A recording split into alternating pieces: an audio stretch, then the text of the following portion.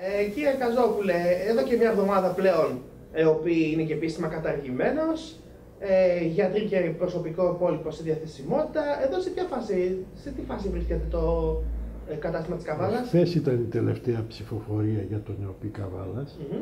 που συζητήθηκε κατά άρθρο και ψηφίστηκε και τώρα περιμένουμε να πάει τις ανάλογες υπογραφές να δημοσιευθεί στο ΦΕΚ και να ξεκινήσει η διαδικασία αλλαγής στο ΕΟΠΗ από το παιδί. Ε, σίγουρα είναι μια κατάσταση πάρα πολύ χάλια. Πάρα πολύ χάλια και είναι, πώς να σας πω, ψυχοφθόρα. Ε, οι ασθενείς έχουν φτάσει στο απροχώρητο και έχουν το κάθε δίκιο με το μέρος τους, και αυτοί, αλλά δεν μπορώ να μην δείξω και εκεί δίκιο στους γιατρούς, οι οποίοι από τη μια στιγμή στην άλλη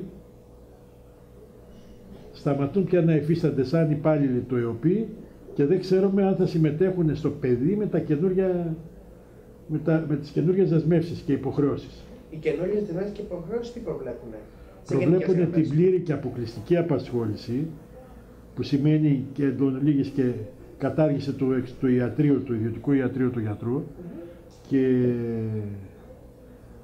σημαίνει 24 ώρη απασχόληση σημαίνει διαλυτερεύσεις, διμερεύσεις και τέτοια. Δηλαδή σημαίνει ταλαιπωρία και για τους γιατρούς και για τους ασφαλισμένους. Δεν, δηλαδή δεν μπορούμε να προδικάσουμε και να προλογίσουμε για να πούμε τι συμβαίνει, τι θα συμβεί από εδώ και πέρα, αλλά σίγουρα ότι περιμένει ένας γολγοθάς και τους γιατρούς και τους ασφαλισμένους. Ε, οι οποίοι ασφαλισμένοι αυτές τις ε, ημέρες, ε, μας είπατε προηγουμένως, κύριε Καζόπουλο, ότι οι περισσότεροι έχουν δείξει κατανόηση. Ναι. Και τους ευχαριστούμε γι' αυτό. Δηλαδή, εγώ, έχω- εγώ νιώθω την ανάγκη να τους πω ευχαριστώ. Ε, θα- ε, ακούω σε άλλα παραρτήματα, σε άλλα καταστήματα που γίνονται τρομερές φασαρίες. Γίνονται και εδώ, δεν μπορώ να τα πω, αλλά σε σχέση με αλλού είναι πάρα πολύ λίγες. Δηλαδή, και εγώ πιστεύω ότι σε αυτό συμβάλλουν και οι διασφαλισμένοι, οι οποίοι κατανοούν το μέγεθος του προβλήματος και μας βοηθάνε. Ας το πω και έτσι, δηλαδή πραγματικά μας βοηθάνε.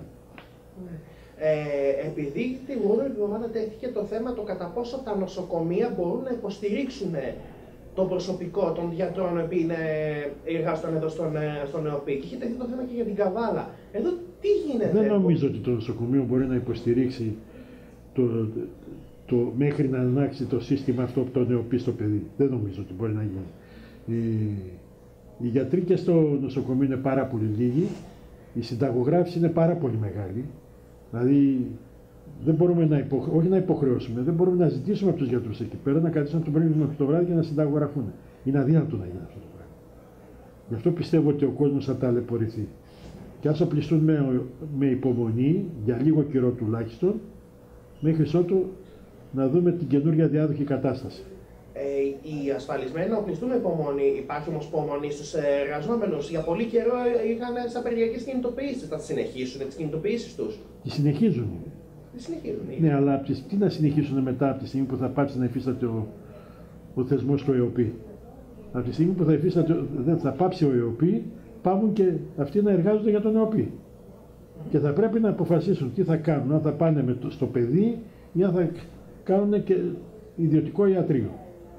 Και αυτό θα πρέπει να το αποφασίσουν μέσα σε λίγο χρονικό διάστημα. Αυτό είναι το οξύμορο πόσο; της υπόθεσης. Ε, μιλάει ότι σε ένα μήνα το πολύ θα πρέπει να στηθεί το άλλο το σύστημα. Δεν μπορεί να μείνει χωρίς πρωτοβάθμια περίθαλψη ο ασφαλισμένος. Είναι τα πράγματα πάρα πολύ δύσκολα. Πρέπει γρήγορα να γίνει αντικατάσταση. Και το πολύ γρήγορα θα πρέπει να ζητήσει από τον ασφαλισμένο, από τον γιατρό, να,